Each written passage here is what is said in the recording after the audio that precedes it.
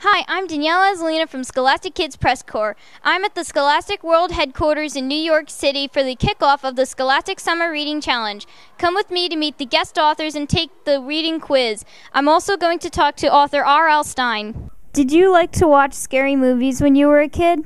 Yeah, I was a kid. There was these great horror movies. My brother and I used to go to the movies every Saturday morning and see scary movies. And there were movies like Creature from the Black Lagoon and The Beast from 20,000 Leagues Under the Sea. And it came from outer space. And we loved them. And I think they were very important to me because a lot of the Goosebumps books have titles just like those movies. What was your favorite scary movie when you were a kid?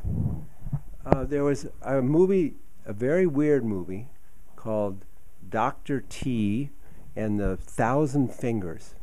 And it was actually written by Dr. Seuss. And it was about a scary music school where kids were trapped and they had to stay. And there were hundreds of them. And they had to play a giant piano. And the piano twisted all around. And a hundred kids playing the piano at once. It was really creepy. Later, I wrote a Goosebumps book called Piano Lessons Can Be Murder.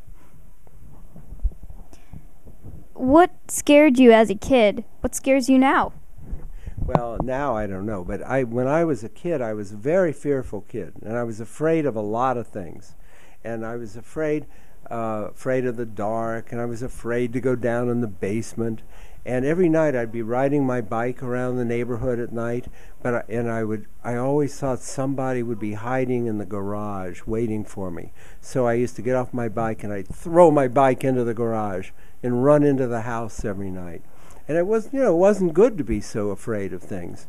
But now when I write these scary books I can think back and I can remember that feeling of panic and what it was like and I can use that in my stories.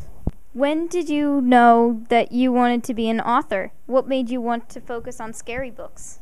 Well, well, I started writing when I was nine years old. I don't know, I think I was a weird kid. I don't know why I liked it so much. I found this old typewriter and I dragged it into my room and I started typing funny books and funny joke books and stories and things. And I was nine years old and I just stay in my room writing. I think I knew I wanted to be a writer uh, when I was nine.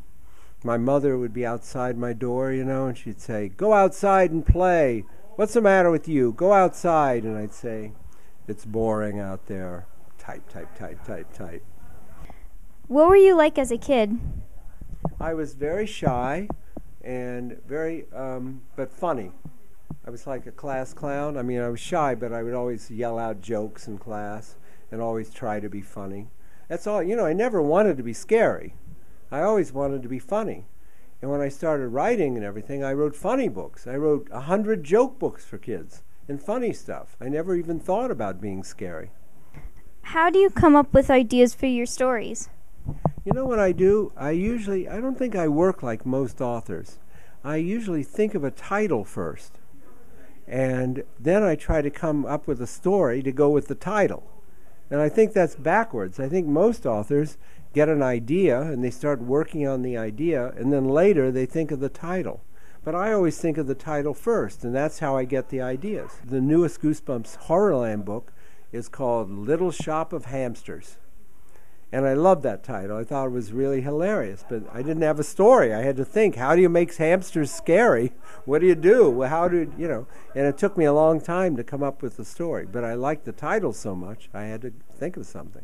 What do you have planned next for all your fans?